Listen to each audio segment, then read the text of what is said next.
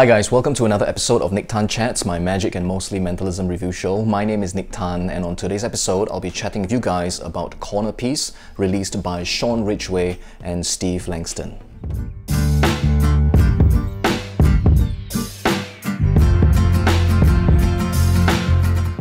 So hi again guys, welcome back to the channel. Thanks for showing up, thanks for tuning in, and thanks for spending some time with me today. So on today's episode, I won't be chatting with you guys about a mentalism release. This is in fact for uh, a magic trick.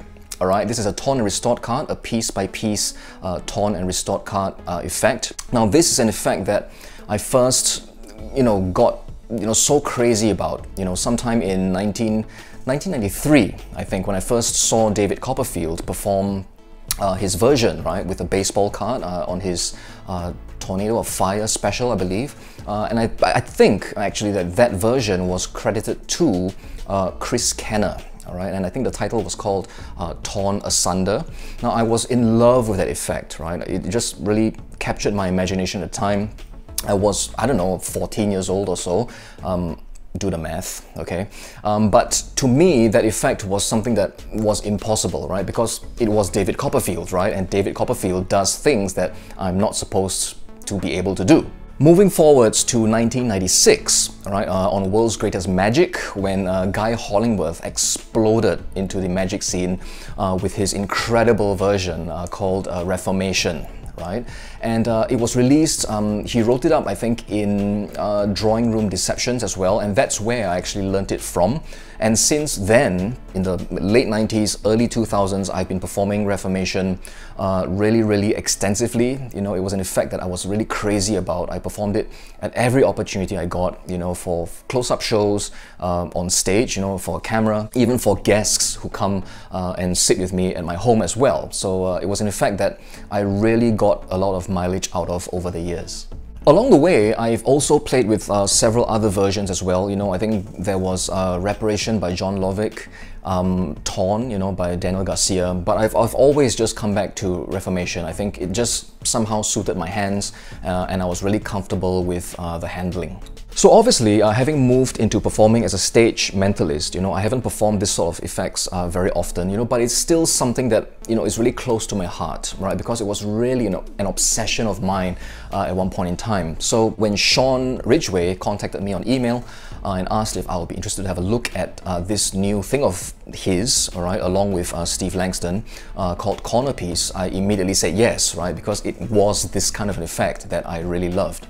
So what is corner piece? Well, it is, um, as you can see from the trailer, right, it is a, a torn and restored card, okay, um, but it is done uh, piece by piece, okay, so a card is, you know, selected from a deck of cards, it is signed, uh, torn into quarters, and then it is stuck back together just piece by piece. So what do you get when you purchase corner piece? Well, uh, it comes in this little tin over here, all right, and uh, inside the tin you'll receive um, the the gaff, okay, that you need to perform uh, this particular handling of this effect. Along with the gaff, you'll also be given the link to your instructional video. Now, the tutorial runs for two and a half hours. On the tutorial video, there will be uh, live performances uh, of um, both handlings by uh, both Sean as well as Steve. And then they will take you through everything you need to know about how to perform uh, corner piece, you know, how to you know, get familiar with the gaff itself, how to bring it into play, how to perform all the various phases, you know, the tearing phases, the restoration phases,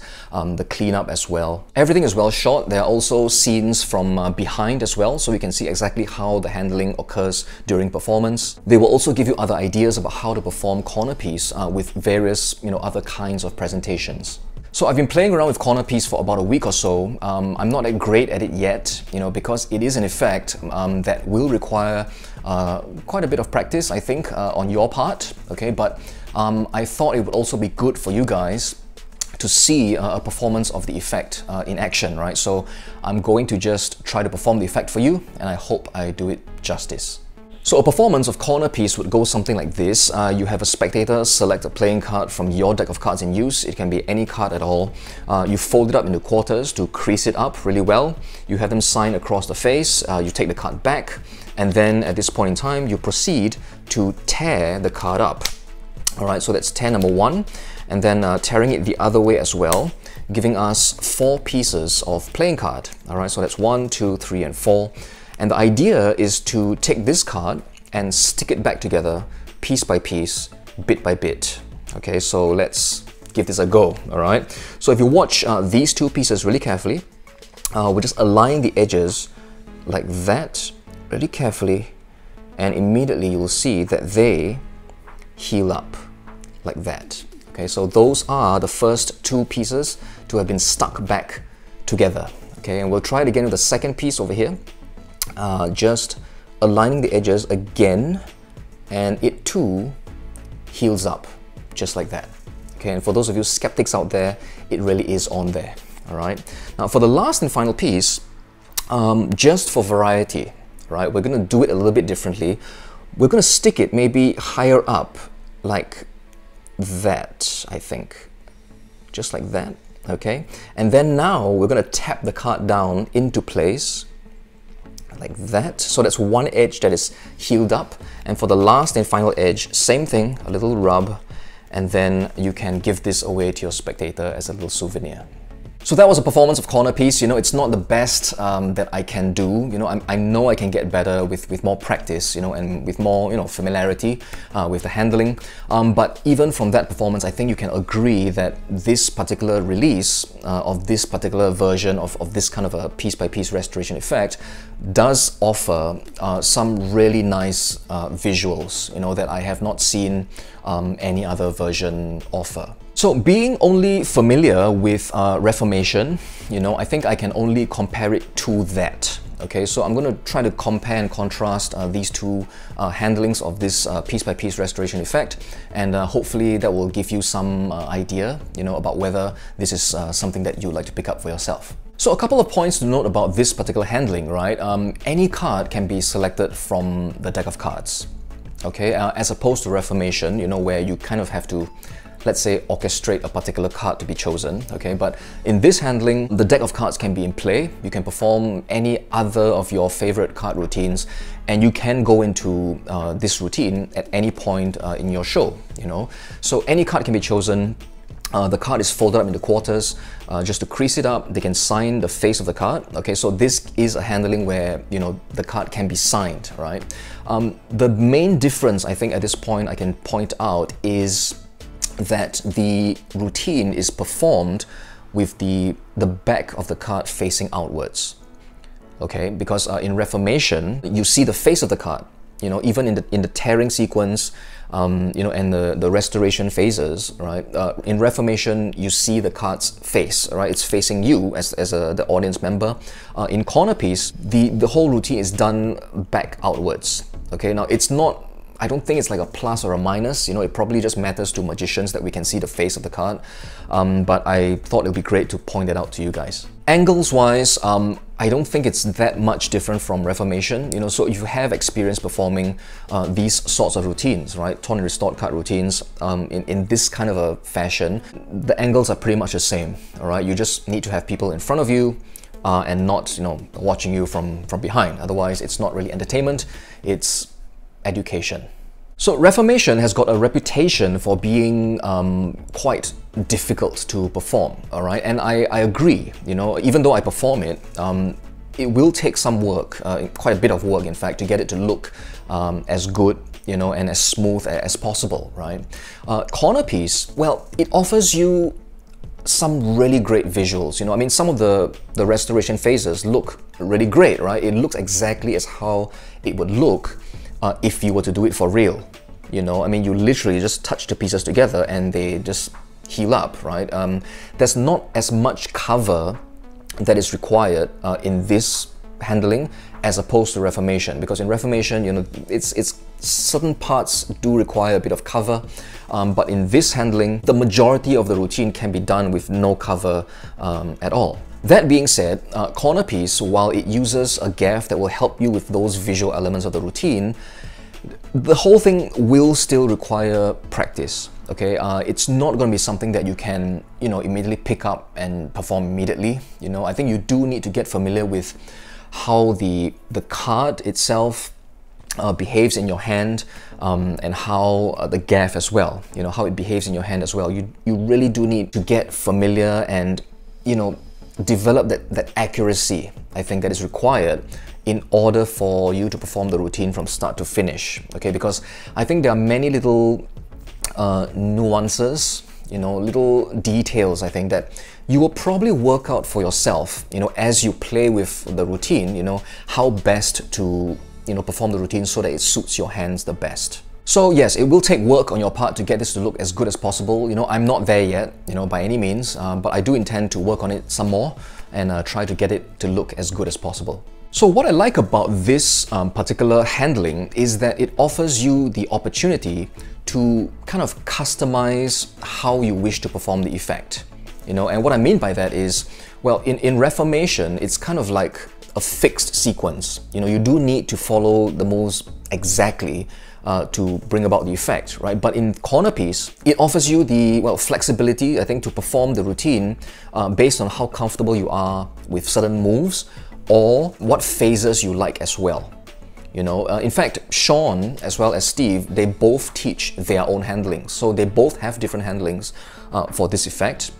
Uh, in fact, after playing around with it, you know, after a while, I kind of have developed my own little little small bits of handling as well to, to make it play a little bit better for me, you know, like you know, for example, the counting of the pieces, you know, and the, and the, the, the restorations, right? Uh, there are little bits here and there that you can kind of customize uh, and perform it in the way that you most prefer.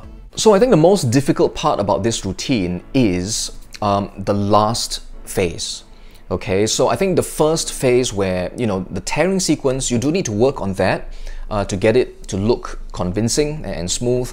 The first and second restorations um, are pretty all right. You know, I'm sure most of you can handle it, you know, but I think the last phase, all right, the last piece, you know, the, the full restoration of the whole card at the end, that will take a little bit of practice. Uh, well, maybe not a bit. Uh, for me, at least, I think it will take quite a bit of practice, you know, because I found it a little bit um, uh, knacky. You know, I can't get it 100% of the time to look as good as I want it to, you know, so uh, if you do get this, uh, do note that um, I think the last phase, at least uh, for me, uh, based on my experience, is going to be uh, a little bit knacky, and you might need to rework certain things so that it suits your hands uh, a little bit better.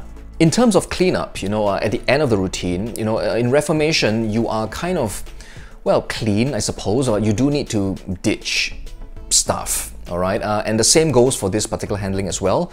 Um, so I think it's not that much different from uh, Reformation you know um, to me at least right in my opinion. So uh, there is still some cleanup that needs to be done. You do need to be comfortable I think to either um, clean up uh, immediately you know or be comfortable enough to hold out all right and wait for the opportune moment uh, to do your cleanup but all in, you know, I think this is a great addition to the piece-by-piece restoration effect. You know, it's um, it's a very practical solution. Uh, I think the gaff is uh, quite well quite well made as well, quite well designed. Uh, it will last you pretty long. You know, it's going to be something that will you know can take quite a bit of beating. You know, I mean, I've practiced a lot over the past week, and um, it has started to show some signs of wear and tear, but you know, it, it is a hardy gaff, right? It's not something that's going to break and even then, I think, um, I, while it's not discussed uh, on the video, um, once I looked at the prop itself and examined it, I, I believe I can, um, you know, well, how do I say this? Um, transfer, you know, uh, the gaff to uh, to make a new one for myself. I think it, it's easily done. So yeah, you know, uh, great visuals, you know, uh, very practical. You know, there's nothing that you need to set up uh, per se. You know, it's always going to be ready to go once you have it on you. Um, it's easy to get into it. Um, well, the performing of it will take a, a, bit of work, you know, especially the last phase. Uh, getting out of it as well is pretty easy. Um, so yeah, I think it's quite a, uh, a practical uh, working solution for the piece-by-piece -piece restoration effect. So before I go, I want to thank uh, Sean Ridgeway for really kindly uh, letting me have a look at uh, Corner Piece, for sending me this uh, unit as well for me to have a look at, for me to learn, uh, and for me to play around with and hopefully perform one day as well. Uh, if you'd like to pick up a copy of Corner Piece for yourselves, do look up the link in the description box down below on Penguin. Alright, but that's all for today's episode, guys. I do hope uh, I've introduced you to something uh, interesting and fun as well. Hope you enjoyed the episode as well. And of course, for those of you who are celebrating Chinese New Year this season, 啊、uh,，在这里呢要祝大家啊、uh, 新年快乐，在这个龙年呢，啊、uh, guys, so till the next episode, uh, do take care of yourselves, stay safe, have fun with your magic and your mentalism, and I will see you on the next episode of Nique Tan Chats.